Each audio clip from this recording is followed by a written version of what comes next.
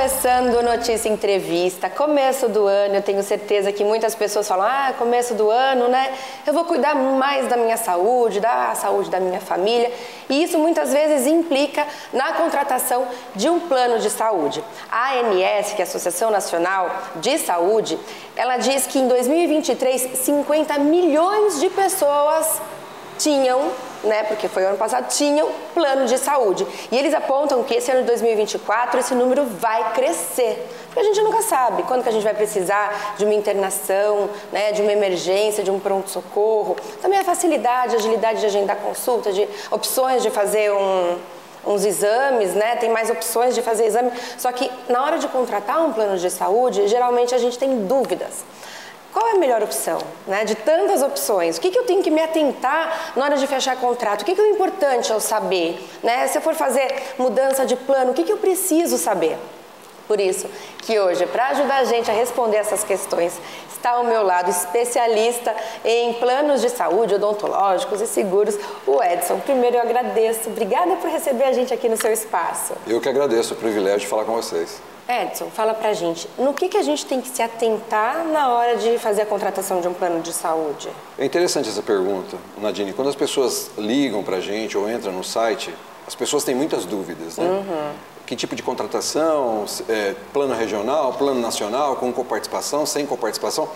Mas o que eu acho que é primordial é fazer pesquisa e ela pegar a orientação de um consultor muito experiente, porque hoje em dia nós sabemos que muitos, existem muitos consultores que vendem plano de saúde, uhum. mas nem todos são tão transparentes e honestos na hora de fechar um plano de saúde, porque tem muitas coisas envolvidas, né? É. Se a pessoa tem alguma doença pré-existente, se de repente uma mulher ela já está grávida e ela vai precisar do parto, passar todas as orientações.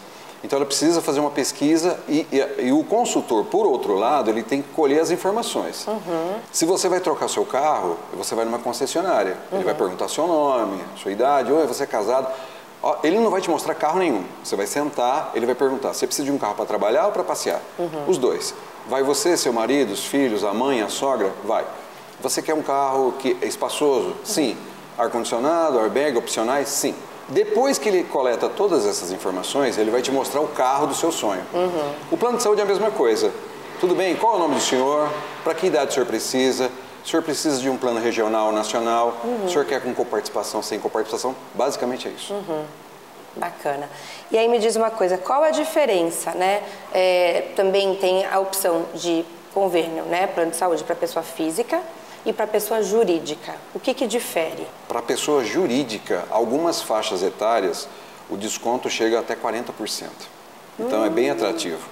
E hoje em dia as pessoas podem abrir um MEI, né? Uhum. Pessoa que é costureira, ou que faz trufa, ou que faz jardinagem, ele Sim. pode abrir um MEI e ter o benefício de ter por CNPJ, porque pessoa física ele vai pagar mais caro.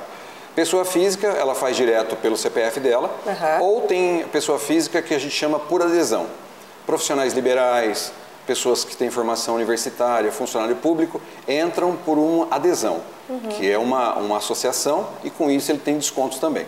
Mas sempre com o CNPJ vai ser mais barato do que pessoa física. A pessoa física, por outro lado, algumas operadoras têm a vantagem que se você quiser cancelar a qualquer momento, algumas, não todas, você cancela sem pagar multa. Ah, sim. Então tem essa vantagem. Uhum. A desvantagem é que você vai pagar um pouco mais. Por CNPJ é mais em conta. É, mas enquanto mas você precisa. Ah, vou, ah, gostei dessa dica, vou abrir o CNPJ hoje e já vou querer fechar meu plano amanhã. Não, você tem que ter um período, né? Isso. De firma aberta. Isso. A sua uhum. pergunta é interessante. Quando é o MEI, o microempreendedor individual, tem que ter um, um período de, de, abertura de seis meses. Ah, certo. Agora não, a minha empresa é limitada. Eu hum. vou, vou criar uma empresa, eu e minha esposa, e vai ser limitada, porque o MEI é uma pessoa só.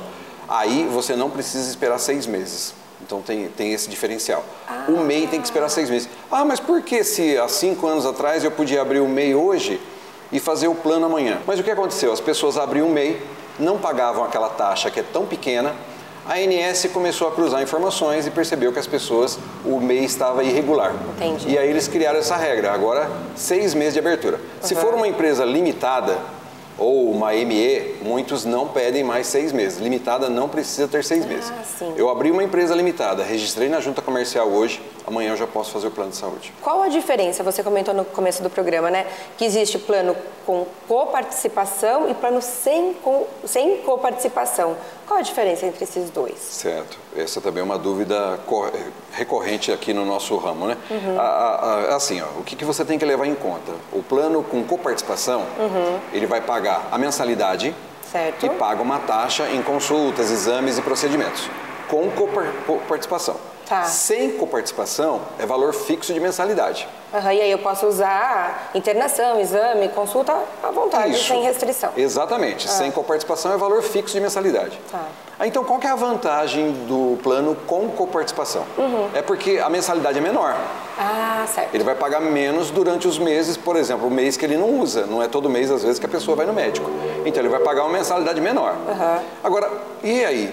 Contrato sem ou com? Ele vai ter que fazer uma análise, é por isso que a gente ajuda a pessoa a fazer certas contas. O senhor está contratando para sua família, é só para acompanhamento, fazer um check-up a cada seis meses, urgência emergência? Perfeito. Faz com coparticipação, porque nos meses que o senhor não utilizar, o senhor vai pagar uma mensalidade menor. Ah, mas é muito caro pagar uma coparticipação em exames e consultas. Não. Às vezes é 30% do que a operadora repassa para o médico. A pessoa confunde também.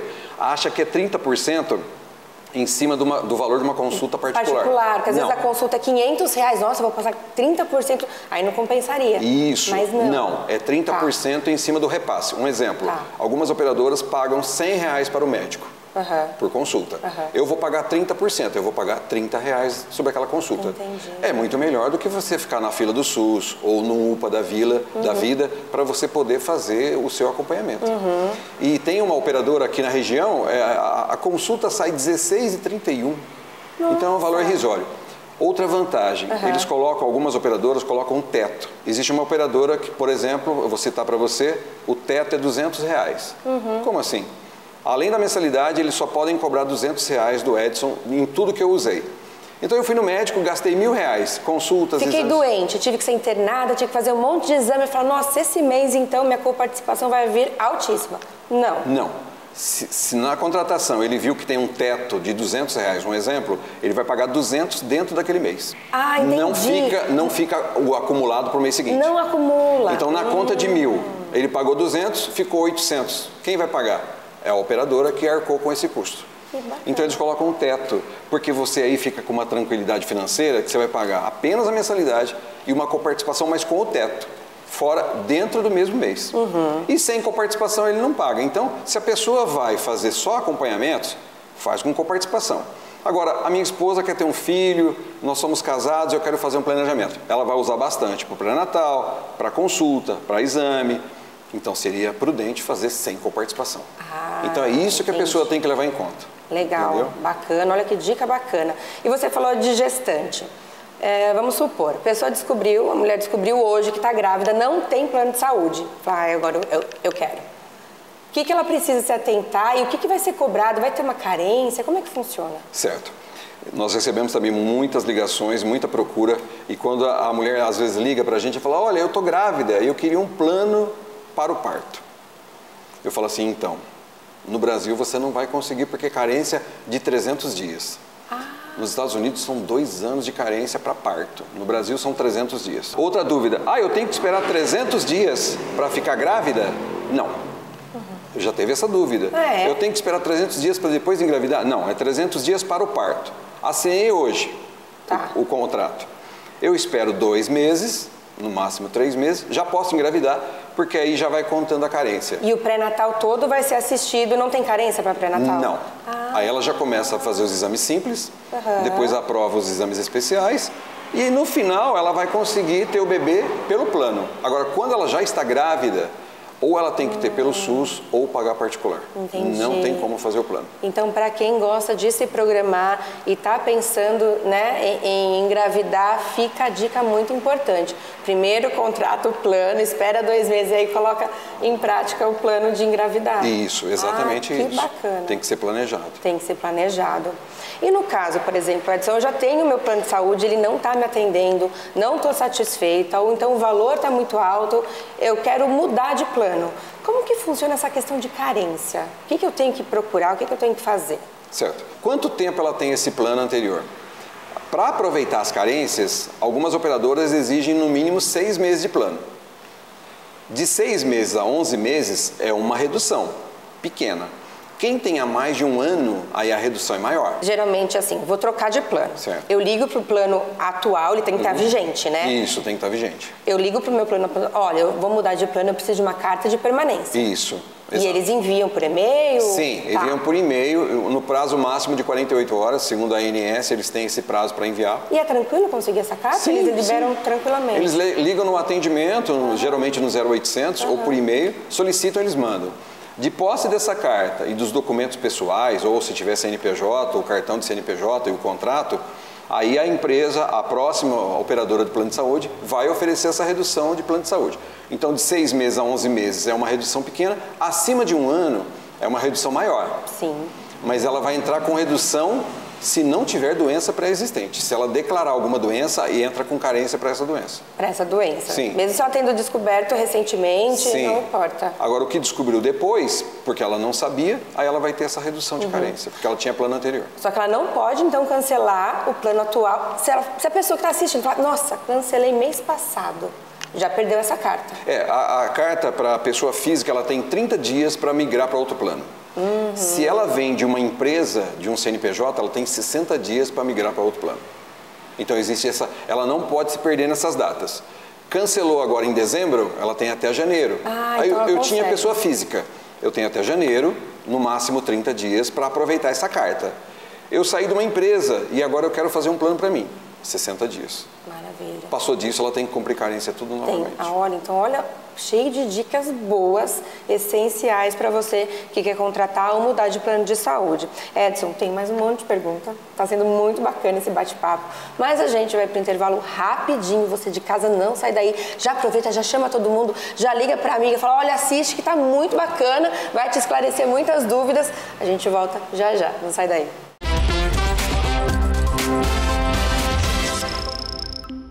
O Notícia Entrevista já está de volta e hoje a gente está falando com o Edson, que é especialista em planos de saúde, odontológicos, seguros de vida, enfim.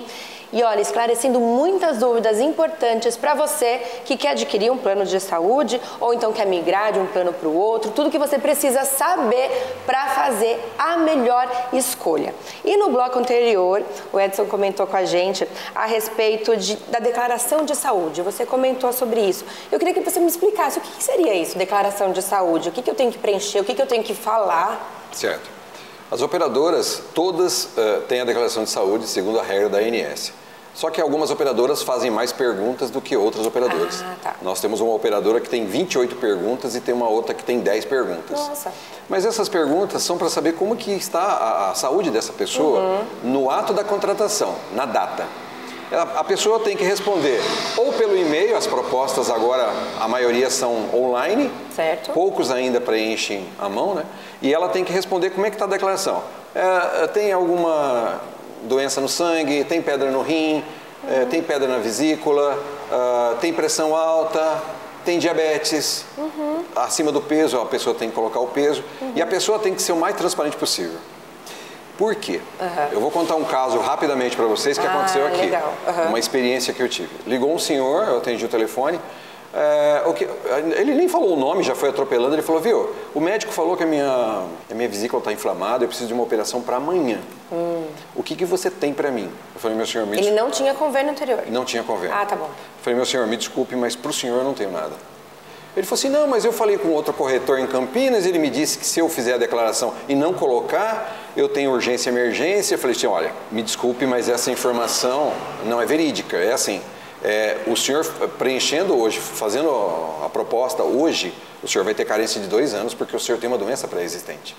Mesmo sendo urgência e emergência, o senhor não consegue fazer. Ele queria alegar que ele não tinha, que ele desconhecia essa doença? Exato. Tá. E aí mentindo a declaração. Entendi. Olha que coisa perigosa. Sim, sim. Eu falei assim, olha, se o senhor quiser, o senhor pode fazer com ele. Eu não faço isso. Uhum. Mas só que eu vou alertar o senhor. O plano pode descobrir, e com certeza vai descobrir que o senhor já tinha essa doença pré-existente. O senhor não vai ter atendimento. E essa pessoa, geralmente a pessoa que mente para o senhor, ele não te atende novamente.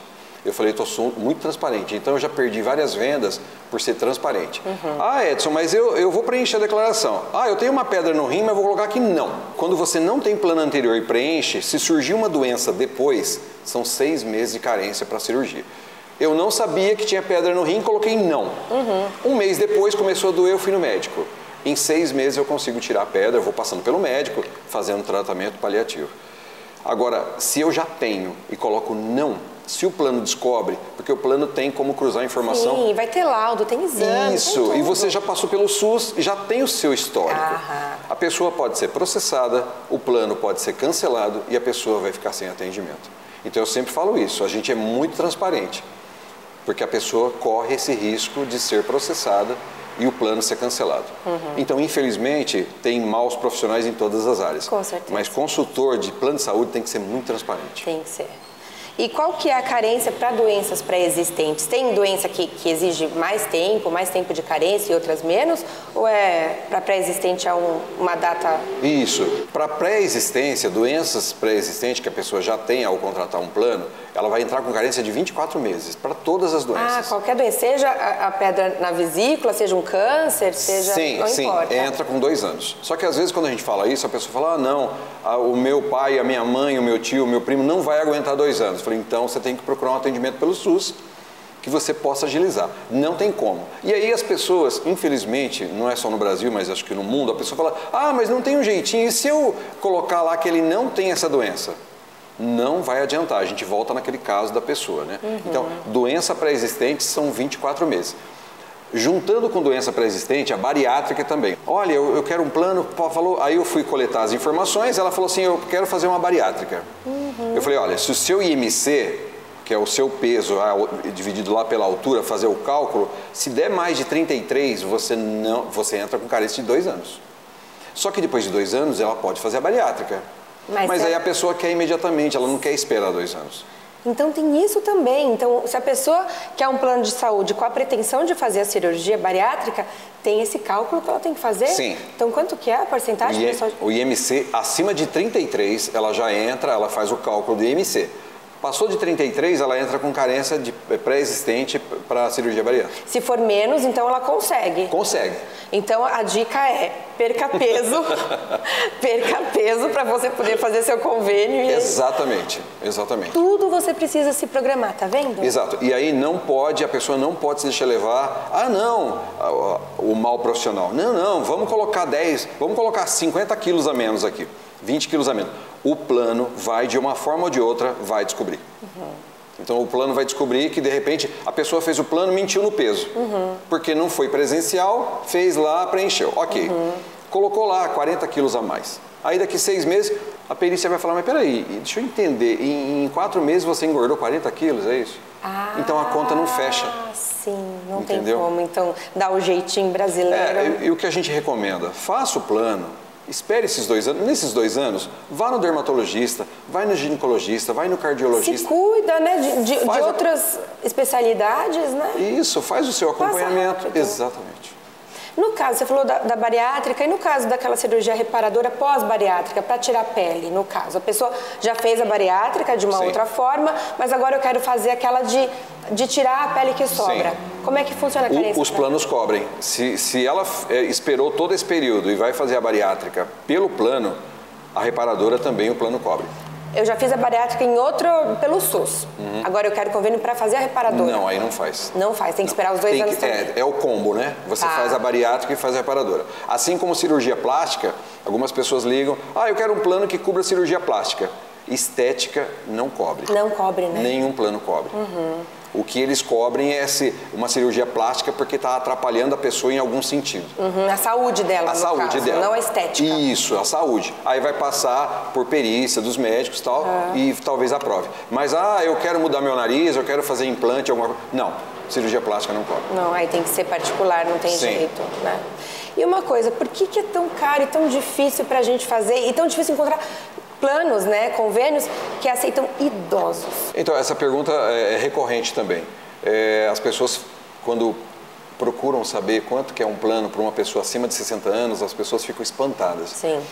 Porque o, a pessoa quando passa dos seus 50, 60, a pessoa no Brasil agora, mais do que nunca, a pessoa se cuida muito, né? Verdade. Faz hidroginástica, faz caminhada, come alimento saudável, se preocupa muito com a saúde Uhum. e paga muito. Paga muito. E às vezes a faixa etária de 0 a 18 anos, que é mais em conta, nem todos, né? Eu não estou generalizando, Sim. mas alguns jovens não se cuidam, vai, bate o carro, fica numa UTI, uma Não UTI. tem responsabilidade com a alimentação, pega Pois é. pesado no crossfit, aí lesiona. Pois é. Isso, né? E aí ele paga menos e o idoso paga mais. Mas infelizmente é- essa é uma luta que a gente não vai vencer essa batalha, É. porque as operadoras insistem porque as pessoas com mais idade, e- eles pensam que a pessoa vai precisar de mais cuidados, Uhum. vai dar mais custo para a operadora, vai precisar de mais internação, vai precisar de mais tratamento e aí o preço fica elevado. Fica bem infelizmente. elevado. É geral. E tem muitas, muitos planos que não atendem mais, né? Novos. é, Sim. Novos clientes já com uma idade mais avançada não atende, não aceita, né? É, algumas operadoras, a partir de certa idade, eles não estão aceitando mais. Olha que Tem um, coisa. colocar um limite de idade. Sim. Se a pessoa já está no plano e ela atingiu essa idade, ela continua. Continua. Não pode ser tirada do plano. Sim. Mas algumas operadoras não estão aceitando. Não estão aceitando. E eu queria que você falasse um pouquinho pra gente da diferença, né? Que também tem isso. Tem planos regionais, planos nacionais. O que, que difere entre esses dois? Qual que a pessoa deve escolher? E aí a gente vai ter que saber o que, que ela está procurando. Uhum. Um exemplo, ah, eu quero um plano nacional porque eu sou executivo de uma empresa ou eu, eu viajo muito com a minha família e eu quero assistência no Brasil todo ou fora do país ele faz o seguro viagem, né? Uhum. Mas dentro do, do Brasil eu quero um plano nacional, que eu quero atendimento em todas as regiões, eu viajo muito. Ok, o plano nacional ele é bem mais caro que o plano regional. E às vezes o plano regional já vai atender a sua necessidade. Eu tive um caso aqui de um senhor que veio até a gente e ele falou que queria um plano nacional. Quando ele viu o valor, ele se espantou. Eu falei, mas o senhor viaja muito para fora? Não, eu viajo uma vez por ano para a Bahia, fico lá 15 dias, 30 dias tal. Eu falei, então, mas por que que o senhor não. Você vê, aqui a gente não procura oferecer o plano mais caro, mas que atenda a necessidade. A pessoa bem atendida, ela vai te recomendar para outra pessoa. É verdade. Ele falou, Edson, mas esse plano regional, eu tenho atendimento de urgência e emergência em Salvador? Eu falei, tem. Tem a Rede Abrange. O que que é a Rede Abrange? É uma associação, eles se juntaram, os planos regionais, planos regionais que não têm atendimento nacional, se juntaram. Então chama Rede Abrange. Certo. As operadoras aqui da região de Campinas, a maioria dos planos regionais tem pela Rede Abrange.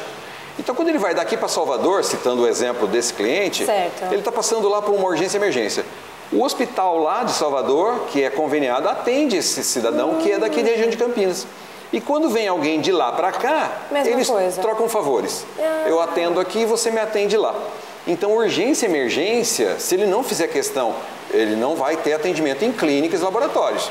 Mas urgência e emergência, está passando mal, É. convulsão, AVC, um ataque cardíaco, ele vai ter urgência Vai ter emergência. atendimento. Então, isso vai fazer com que ele economize. Já teve casos de pessoas economizarem 7 mil no ano, porque optou por um plano regional. Uhum. Porque ele não tem a necessidade. Não tem. Então seria por causa de uma pessoa que passa um tempo em outra cidade, em outro estado, no caso, e quer fazer consultas, quer passar por médicos, quer fazer exames Isso. nesse outro estado. Isso. Se não, se é só no caso de uma emergência, então o regional Isso. é, é o indicado. É, o indicado. Ele só precisa ver se fala, esse plano atende pela rede Abrange. Ah, tá. Porque é essa associação que juntou os planos regionais. Uhum. Você vê, uma forma que os planos regionais descobriram ou, ou criaram para que esse beneficiário tenha atendimento no Brasil. O beneficiário ele sai lá de Salvador, ele vem para a região de Campinas.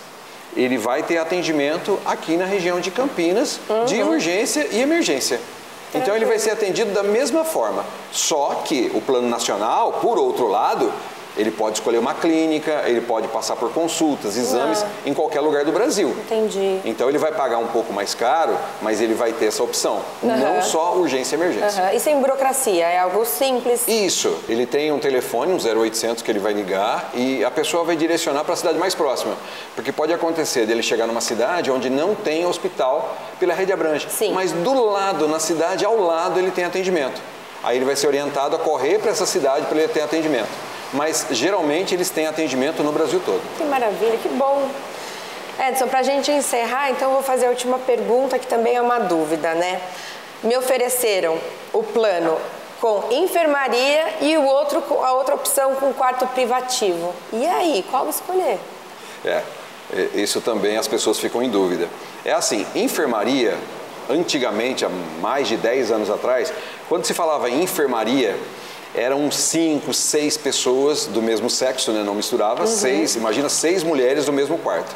Então, a, as pessoas ainda têm aquilo, a enfermaria, fica um monte de gente no quarto. Não, enfermaria ficam duas pessoas, no máximo três. A maioria dos hospitais ficam duas pessoas. Uhum. O quarto privativo, por outro lado, fica só você e alguém da sua família. É.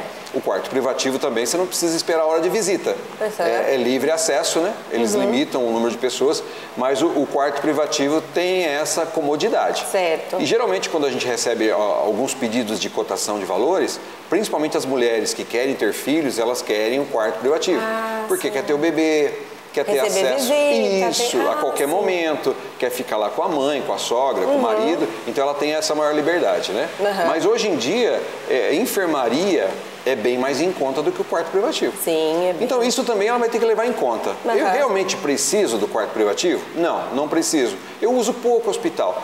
O custo vai cair. Vai então, cair, vale tudo a pena. ela tem que analisar o custo. Por isso que tem que contratar, tem que falar com um profissional experiente, né? Para fazer todas essas perguntas e ver realmente o que, que a pessoa precisa e a melhor forma dela economizar dinheiro, né? Sim. Exatamente. Passa o seu, o seu site, vocês têm um site também? Sim. Tem um telefone que o pessoal pode entrar em contato, tirar dúvida, sim, né? Sim, sim, sim. Nós temos o site, é longlifeseguros.com.br, uhum. longlifeseguros tudo junto, né? .com.br.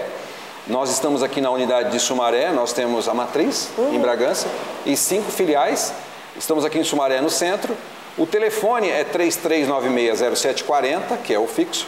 Ou, para falar direto comigo, para fazer a cotação, uhum. é 19, né? 99139 3938. É o WhatsApp. Isso, o WhatsApp ah, também. prático também. E assim, é, é, é, em cima de tudo que a gente falou, procure uma pessoa que seja muito honesta e transparente, Sim. porque é uma coisa muito séria fazer plano de saúde. E depois vai dar dor de cabeça lá na frente, Sim, né? Já então... começa com uma dor de cabeça. É. E você fez o plano para acompanhar a sua saúde e já começou com uma dor de cabeça. Não.